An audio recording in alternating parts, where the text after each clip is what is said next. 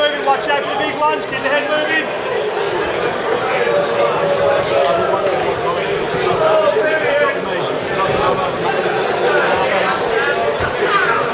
Nice, lovely move, stick it up, backhand, we've been practicing the head.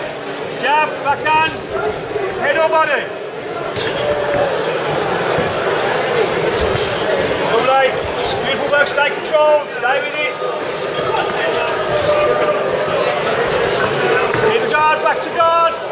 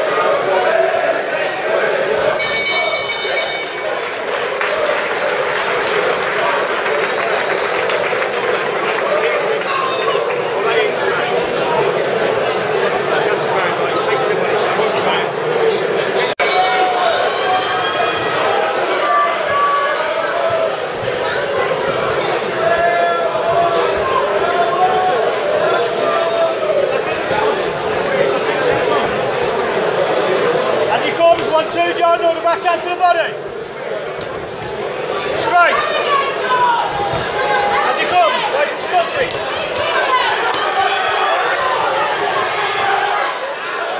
Backhand to the body as he come, straight. Let him come, let him come.